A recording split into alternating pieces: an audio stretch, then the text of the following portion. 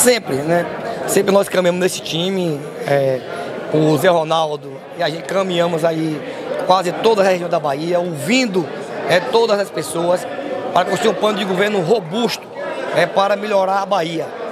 Tem um grupo aí que vem governando o, Estado há um bom tempo, onde a educação tem o pior IDEB, e ele entende que está bom, a segurança, o Estado mais violento, eles entendem que está bom, uma regulação que não funciona.